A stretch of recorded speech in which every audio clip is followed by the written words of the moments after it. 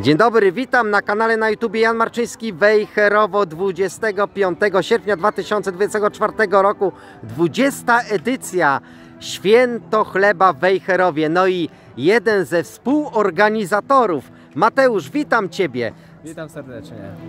Co byś nam powiedział na temat tej wspaniałej imprezy na tle właśnie tej oto jabłoni? E, tak, oczywiście znajdujemy się w ogrodach konwiktorskich, jak widać.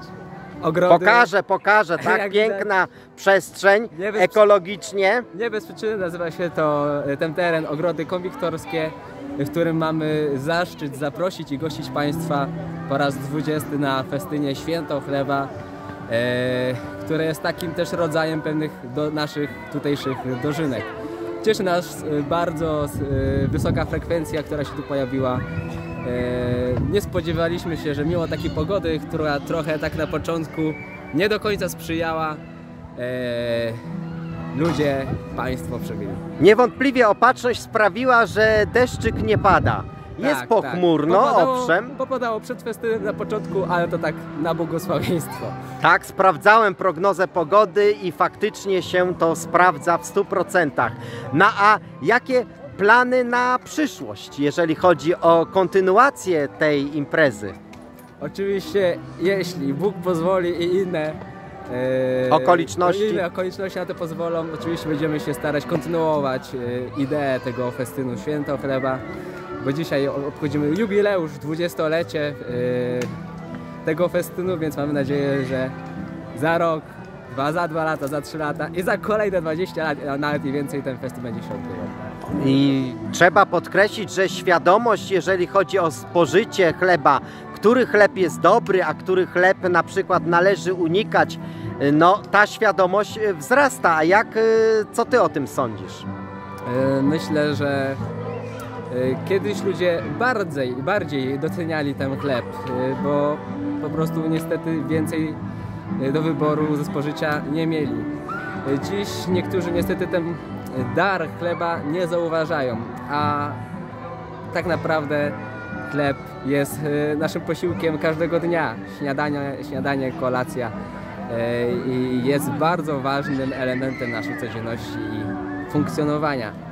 Śledząc internet, to można też y, zauważyć, że roczniki na przykład 60, 70 i nieco wyższe roczniki wspominają ten chleb jeszcze za czasów komuny, jak to z piekarni bardzo piękny zapach unosił się chleba, że ten chleb był taki kruchutki i tego brakuje często niejednokrotnie Dlatego- tego chleba. Dlatego my dzisiaj postaraliśmy się, że właśnie był ten taki chleb e, zapraszający swoim zapachem, swoją chrupkością tutaj w nasze ogrody konwiktorskie, by go zakupić i go spożyć. Ja ci powiem, że ja tu się rozeznałem, jeżeli chodzi o e, ten chleb, który tutaj jest proponowany i na przykład jeżeli chodzi o mąkę żytnią 2000, to był tutaj taki chlebek, ale tego chleba było bardzo mało, bo jest tru, to trudny wypiek, ale wiele osób i, no, spożywa ten chleb, dlatego że pszenny na przykład chleb y, szkodzi. Nie wiem, czy ty o tym y, słyszałeś, czy się z tym zetknąłeś. Coś tam słyszałem, ja się nie znam na temat chleba. No ja tak rozumiem. Nie jestem piekarzem, lecz wiem, że tu mamy bar- chleby bardzo dobrej jakości i zawsze szybko schodzi, bo ludzie zawsze go szybko No rozumiem, jako młody człowiek, to rozumiem, że te problemy Ciebie nie dotyczą, ale uwierz mi, że wiele osób te problemy dotyczą i one zwracają właśnie na to uwagę i dlatego stąd właśnie nawiązuję do tego tematu. Jak e, wiadomo, jak Państwo śledzicie karierę Mateusza, to on e, zajmuje się wieloma profesjami, to nie tylko współorganizator dzisiejszej imprezy, ale też i możesz się tutaj pochwalić o tym swoim wielkim sukcesie. Nie wiem, czy to jest jakiś sukces, to jest dopiero początek drogi, początek kariery. Oczywiście działam społecznie i cały czas działam społecznie. To jest jedno, świąteczna paczka, tak? W Szlachetnej Pacy też Szlak- brałem udział. E, Tak. Też kiedyś byłem w Sejmie Dzieci i Młodzieży, czy członkiem Rady Dzieci i Młodzieży przy Edukacji Narodowej. Też w Młodzieżowej Radzie Powiatu byłem wiceprzewodniczącym. No i teraz bardziej właśnie staram się działać tu lokalnie, społecznie. Przy parafii. Przy parafii i w mieście i w powiecie, ale e, przede wszystkim przy ludziach e, potrzebujących rzeczywiście tej pomocy. Dokładnie, bo to jest nie tylko pomoc materialna, ale często niedokrotnie też natury takiej chyba takiego wsparcia psychologicznego, tak? Różną pomoc, no oczywiście też za, za ba- bardziej też taka pomoc y, żywnościowa, paczki żywnościowe zawsze na święta jakoś tam staram się to zorganizować, żeby potrzebujący ludzie jakieś tam te dary na święta dostali, żeby nie było pustego stołu e, i żeby trochę też po tych świętach im jakiejś tam żywności, chemii, e, takiej drogich, e, zazwyczaj codziennych potrzeb im nie brakowało. Ale ty jako młody człowiek jesteś też otwarty na rozmowę, a często niejednokrotnie ludzie potrzebują takiej rozmowy w realu, nie tylko ten internet. No kiedyś nie było internetu, to wiadomo E, jak to było. Warto rozmawiać, e, rozmowa jest bardzo potrzebna. Dziś niestety zauważam coraz częściej, że ludzie nie potrafią ze sobą rozmawiać, a rozmowa jest jednak bardzo e, ważna. Ważne jest to, by się na siebie wzajemnie otwierać i ze sobą rozmawiać.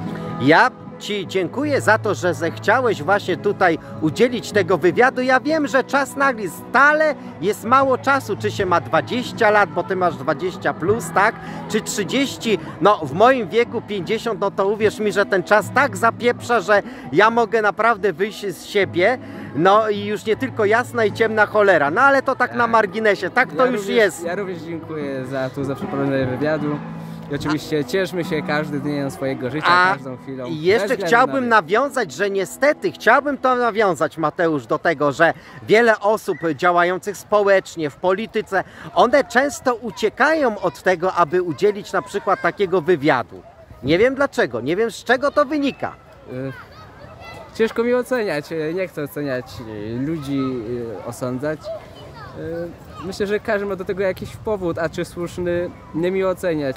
Ja uważam, że warto rozmawiać i warto y, po prostu wychodzić do ludzi. Do ludzi, rozmawiać z ludźmi. Ja ci powiem tak, y, wiem, że s- twoje aspiracje też natury politycznej są niewątpliwie, to gdzieś tam jest schowane, to w tobie drzemie, to w tobie się rozwija i, ja ci powiem jedno, jak ty będziesz tam kandydować, czy do powiatu, do rady powiatu, wyżej, wyżej, to niewątpliwie głos ode mnie uzyskasz. Pożyjemy, zobaczymy. Na razie nie mam jakichś takich ambitnych planów, żeby gdzieś startować, bo na razie po prostu mam zamiar zająć się po Rozwojem. życiem, rozwojem.